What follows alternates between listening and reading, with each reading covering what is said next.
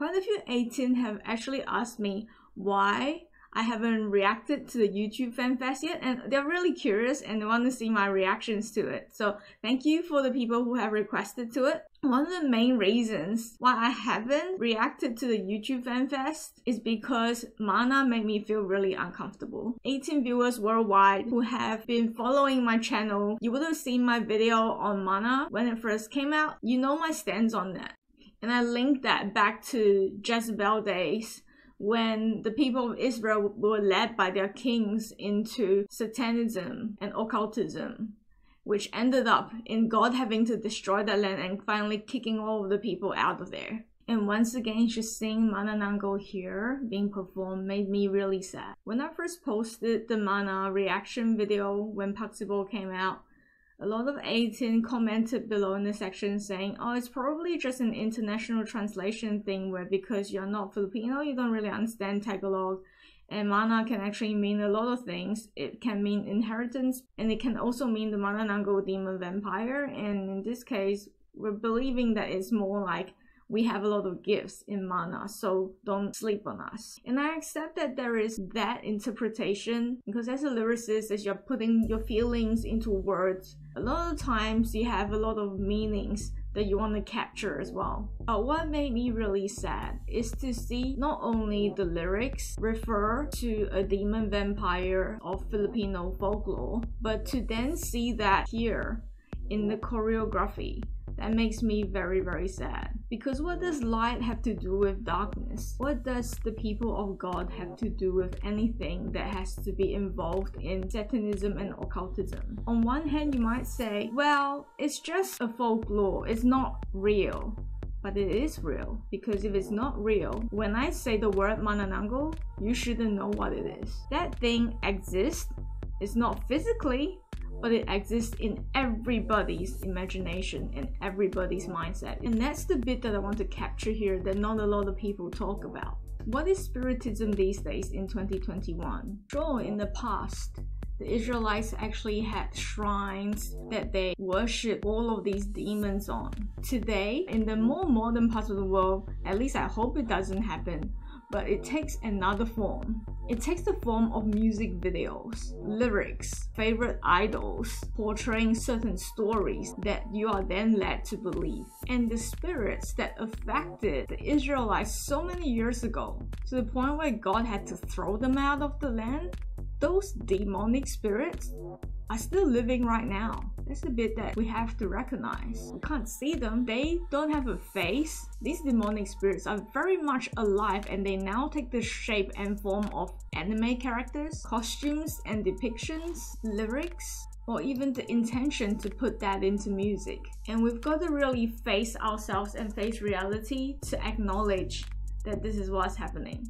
Where humans have bought into a scam that we keep repeating and replaying and replaying and eventually it is going to cause our downfall. This is in Genesis chapter 6 and I'm reading from the CJB version. In time when men became to multiply on earth and daughters were born to them, the sons of God saw that the daughters of men were attractive, and they took wives for themselves, whomever they chose. Adonai said, My spirit will not live in human beings forever, for they too are flesh. Therefore, their lifespan is to be 120 years. The Nephilim were on the earth in those days and also afterward, when the sons of God came into the daughters of men, and they bore children to them. These were the ancient heroes, the men of renown. Adonai saw that the people on earth were very wicked, verse 5, and that all the imaginings of their hearts were always of evil only.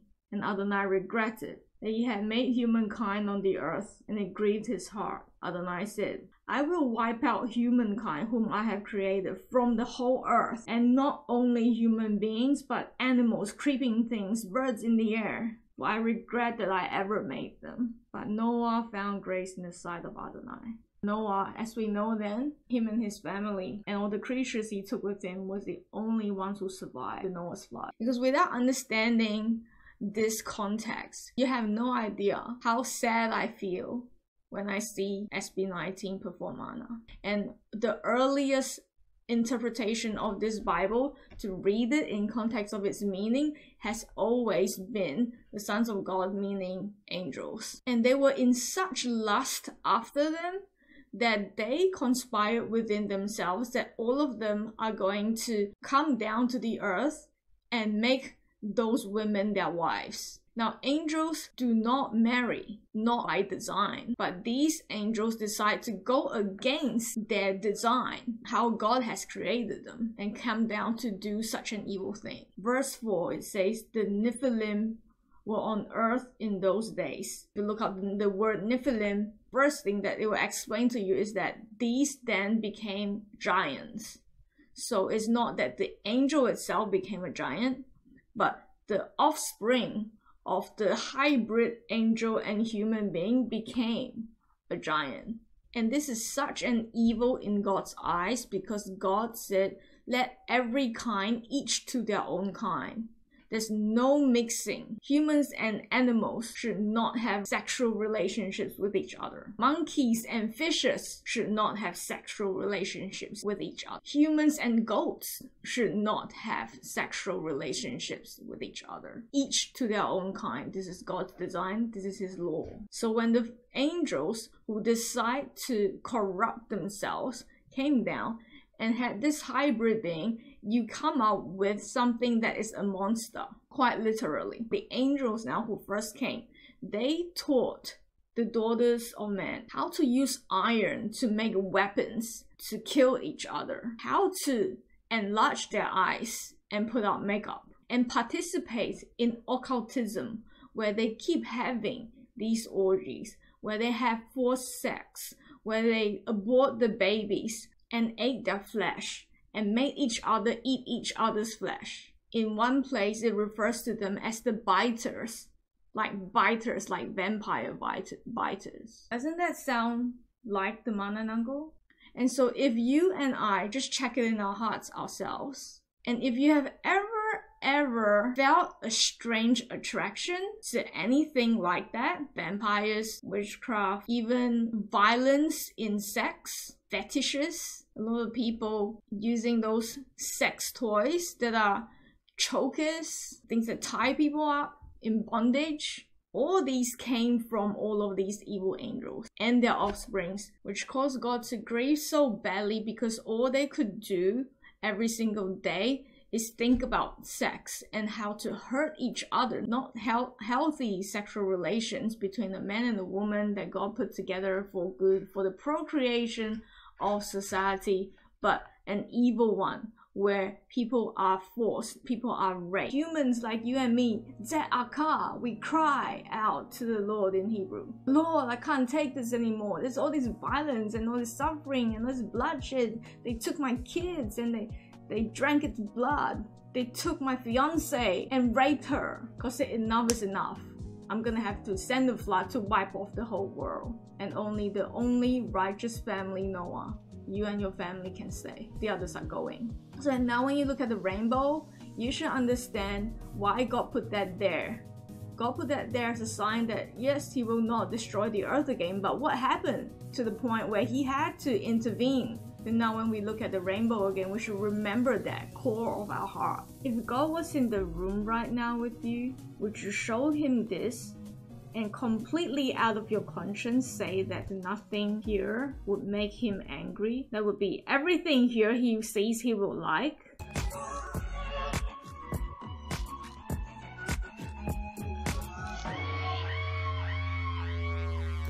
Like this, especially this part Pablo, what are you doing? Justin, what are you doing? So if a song is supposed to glorify God at the same time and talk about how much gifts He's giving you, and on the next scene, you're doing this soul sucking thing, which is it? Is it the one or the other? Why are you wavering between two grounds? It's the same question Joshua asked the Israelites. It's the same question Moses asked when he took them out of Egypt, I present before you life and blessings, death and curses.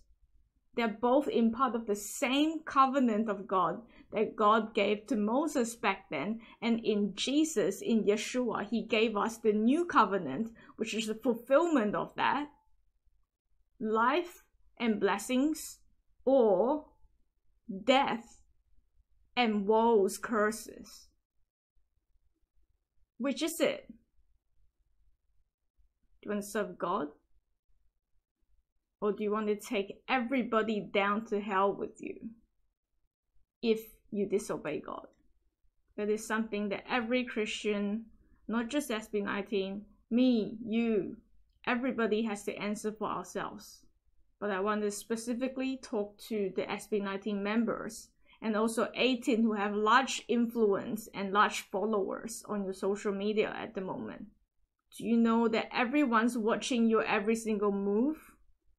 not only you, but the angels, both the good angels and the bad angels that are trying to steer you astray.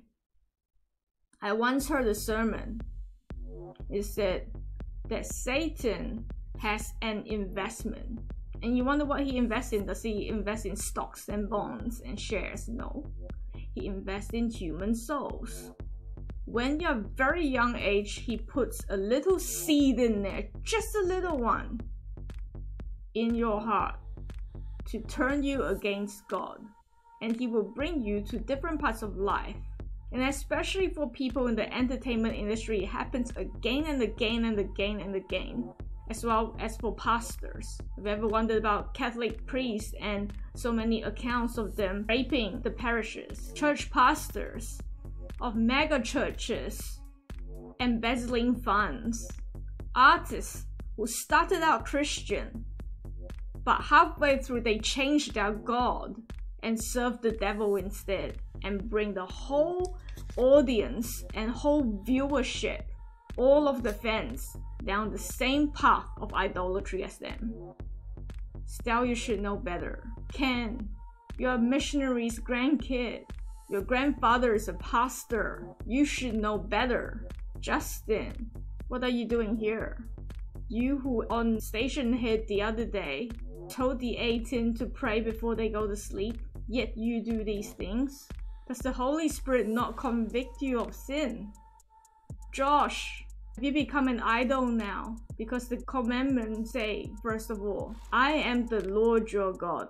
Before me you shall not have any other idols, not any other gods. Have you elevated yourself to take the place of God who gave you the talents to bring you out of your struggles this far? The spiritual trajectory of SB19 is it gonna head down just the same direction as all of the rest of the K-pop industry, P-pop industry? Is it? Because if that was the case, then what is the point of God sponsoring you? What is the point of God giving you these talents when you are just gonna cause people to fall away and lose their salvation?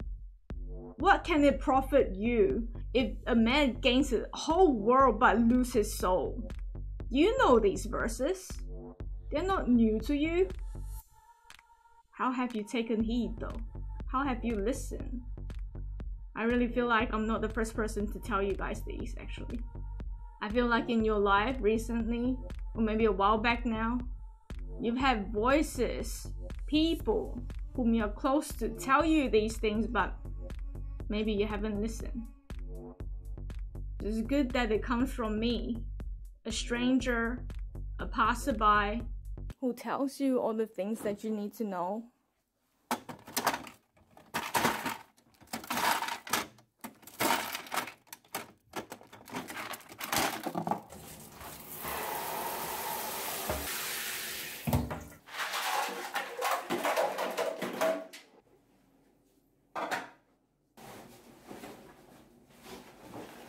because sometimes it takes a shot like this